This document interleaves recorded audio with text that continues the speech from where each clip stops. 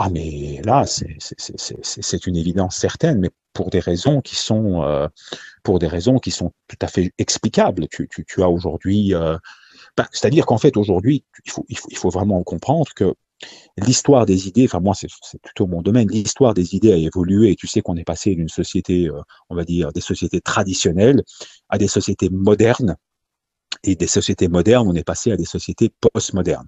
D'accord? Ces sociétés postmodernes sont essentiellement ancrées ou basées sur une, véritable perception euh, d'une réalité euh, qui est essentiellement sociopolitique. C'est-à-dire que pour dans cette vision postmoderne s'ancre dans la réalité que tout, ce qui nous entoure, c'est la conséquence de structures politiques et de, structures sociales qui interagissent les unes avec les autres. Donc l'idée même de la vérité, l'idée même de qu'est-ce que la réalité, l'idée même de qu'est-ce que qu'est-ce qui est vrai, qu'est-ce qui est faux, qu'est-ce qui est bien et qu'est-ce qui est mal, est complètement mis de côté pour de l'engagement politique qui a pour objectif de changer les choses. Tu vois? Et ces théories postmodernes se sont d'abord implémentées très fortement aux États-Unis, mais c'est essentiellement la France qui les a émis. Ce sont des penseurs comme Derrida, Foucault, euh, Lyotard, qui, qui, on appelle ça la French Theory. Ce sont des auteurs, si tu veux, français, qui étaient des auteurs français qui étaient essentiellement ancrés dans une certaine gauche, qui à un moment donné ont émis, euh, qui ont émis ces thèses, qui se sont implémentées en partie dans les universités américaines et qui sont revenus en France, en fait. Mais aujourd'hui, l'éducation en tant que telle est véritablement euh, formatée par cette postmodernité, cette société postmoderne qui est promue et qui n'est pas du tout, euh, comment dirais-je, compatible avec une quelconque forme euh, de verticalité. C'est-à-dire qu'en fait, si tu veux, dans la société postmoderne, la verticalité est perçue comme une oppression. Tout ce qui est autorité est perçu comme une oppression. C'est-à-dire que l'autorité de, de, de, de, la police est perçue comme une oppression. Bon, alors il y a tout l'héritage de mai 68, il y a l'histoire de la France. je ne vais pas rentrer dans ces détails-là, mais globalement, toute forme de verticalité est perçue comme une oppression. Par exemple, dans une société traditionnelle patriarcale, tu as l'autorité du, as l'autorité de la famille, du père, de Dieu. Tout cela est perçu, si tu veux, comme une oppression. L'autorité de l'homme est perçue comme une oppression.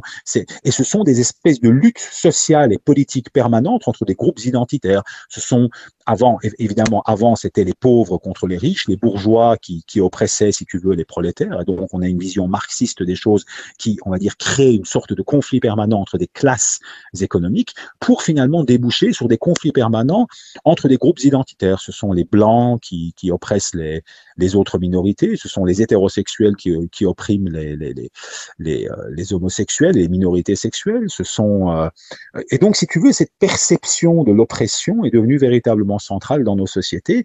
Et cette oppression est fortement ancrée et liée à toute verticalité et donc à toute forme d'autorité. D'ailleurs, tu le vois, euh, ces manifestations contre la police, la police est, est, mauvaise, la police oppresse, la violence policière est inacceptable. Alors que si tu, enfin moi je suis pas du tout en train de justifier la violence policière, mais il faut voir euh, dans certains quartiers, ces policiers, qu'est-ce qu'ils subissent hein? Dire, quand tu essayes de faire un contrôle politique, quand tu essayes de faire un contrôle et que tu te fais insulter en tant que policier, c'est très difficile aussi euh, le travail de policier aujourd'hui. Et donc, si tu veux, toute la vision même de l'autorité est perçue comme quelque chose qui est complètement oppressif et les gens sont complètement, complètement formatés à l'idée du droit. C'est mon droit, c'est mon droit.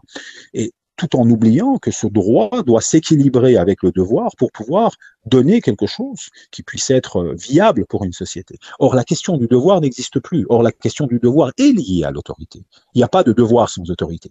Et donc, dans une société où les gens ne parlent plus de devoir, mais ils parlent plus de leurs droits, ben, inévitablement, cette autorité s'effrite.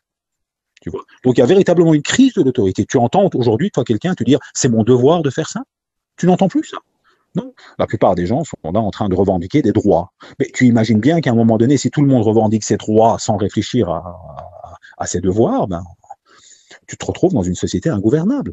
Tu vois Parce que pour qu'une société soit gouvernable, la question du devoir doit être en équilibre avec la question des droits. Or, euh, malheureusement, aujourd'hui, euh, il y a un déséquilibre total. C'est-à-dire qu'on est dans des, sociétés où, toute forme d'autorité est, perçue comme une oppression et toute forme d'oppression doit être combattue sur le plan social et politique pour pouvoir euh, éventuellement changer la société vers quelque chose d'idéal euh, où il y aurait plus de structure oppressive. Alors aujourd'hui, c'est devenu la mode hein, de parler de, structure et d'oppression systémique. Tout ce qui est systémique est devenu en fait tout à fait tout à fait à la mode dans nos discours. Alors c'est très difficile à prouver scientifiquement qu'est-ce qu'une oppression systémique. Elle est où en fait, si tu veux? C'est quoi le racisme systémique, par exemple? Tu vois? Et c'est très c'est très marrant parce que quand on parle de racisme systémique, tu as les, les tenants du gouvernement qui viennent et disent mais écoute nous il n'y a pas de racisme parce qu'en fait dans la loi il n'y a pas de racisme donc il ne peut pas y avoir de racisme systémique, tu vois. Et, et, donc aujourd'hui il y a toute une série de, de, de, débats sur euh, euh, ce qu'on appelle en fait l'oppression structurelle, le racisme systémique, tu vois structurel systémique, comme si en fait toute la réalité autour de nous est déterminée par des espèces de superstructures qui s'imposent à nous d'une manière politique, par le prisme du politique et du social, et qu'en fait notre rôle à nous, c'est de révolutionner la société en la changeant, en étant des militants pour une société plus juste, plus équitable, dans laquelle on doit faire tomber ces, oppressions structurelles et ce racisme systémique, sans vraiment jamais pouvoir vraiment définir de quoi on parle. Et donc on est euh, véritablement dans ce genre de société où, où, globalement l'idée même de l'autorité est perçue comme quelque chose de négatif.